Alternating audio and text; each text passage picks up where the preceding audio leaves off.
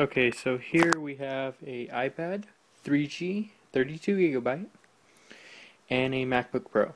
Uh, the MacBook Pro is running 10.6.4 Snow Leopard, of course, and iTunes 9. The iPad is running 3.2 iOS, I guess it's called now, instead of iPhone OS. Um, I just got done syncing it and backing up everything. This is basically what's going to happen if you run the Spirit jailbreak on your iPad or iPhone when it's updated to the new the newer firmware, the 3.1.2 or 3.1.3, and try to jailbreak it. So we're going to go ahead and, well, you know what, I'll just go ahead and show you that this is 9.2. And sorry if this looks a little laggy or anything, I am taking it with my iPhone. So as you can see, 9.2 you know we'll go ahead and do that again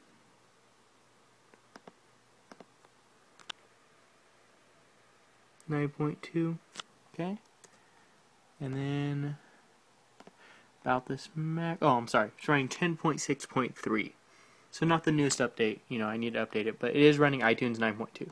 Now they say the Spirit jailbreak is not compatible, so we'll go ahead and try it.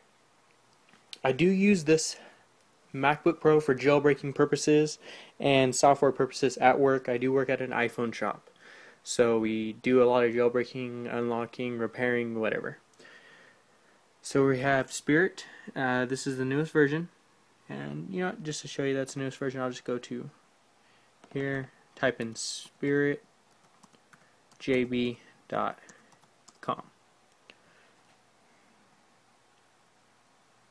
and we'll let that load. And you see, do not update to 3.2.1. This does break Spirit. So that's the only reason really on the iPad to update um, is for basically it to break Spirit. So we're going to go ahead and download that. Let it download. It's a very fast download.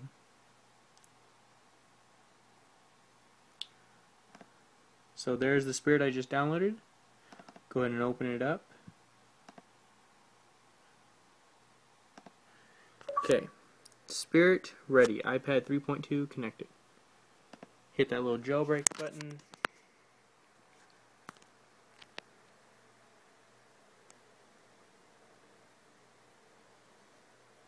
Go ahead and let the iPad load. Now this is the first time I'm doing this, so I do I don't know exactly what's going to happen to it. Um, it might just break Spirit. I'm not sure. Ahead and see. So it is running Spirit. And of course the iPad's really fast, so I mean Spirit runs on it really fast. Um, iTunes just popped up. Go ahead and quit out of iTunes again. Uh, Spirit just got done and it restarted. Go ahead and unlock it. And there's Cydia. Can't really bring it into focus. There we go. This iPhone 4 uh, video camera really works good. Um, as you can see so far, everything seems to be working on the iPad. Um, he says it does have problems. I don't know if that's just the Windows side or the Mac side of Spirit that's having problems with it. So far, I haven't had any problems.